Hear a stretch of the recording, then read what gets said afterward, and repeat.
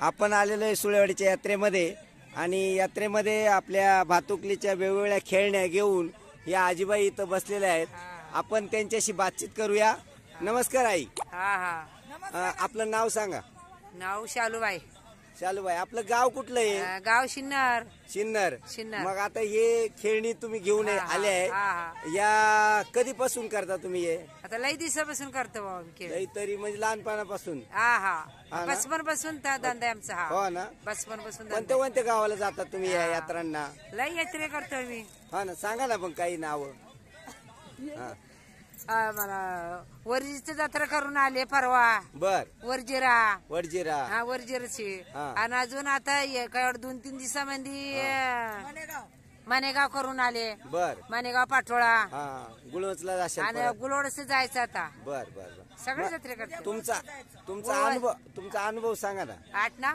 नाही अनुभव अनुभव याच्याविषयी कसं आहे काय कसं चा- करता हे तुम्ही? धंदा पाणी असे खेळणी पाळणी वापरतो आम्ही. हा हा हा.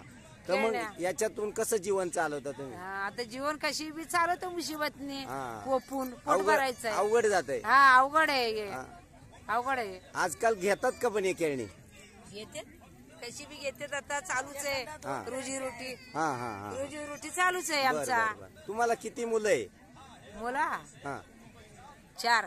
चार मुलं आहे. चार. बर बर. मग ते मुलं. काय काय शिकवलंय का त्यांना? नाही काय हा काय? शिकवले जाते ना कामाला. याच्यावरच शिकवलं का? याच्यावरच शिकवले त्यांना हा सगळं काही हा, याच्यावर सगळं, शिकवलं बरोबर याच्यावर ना शिकवलं बरोबर. बरोबर म्हणजे या व्यवसायातून तुम्ही हा, हा. त्यांना हातभार लावून त्यांना शिकवलं. त्यांना. त्यांच्या पायावर उभं केलं. हा त्यांच्या पायावर लग्न उभं झाले केले. का त्यांचे? हा हा. हा ना? त्यांच्या पायावर उभं केले. हो ना? धंदा पाणी करून त्यांच्या पायावर मी बी उभं केले त्यांना. हा.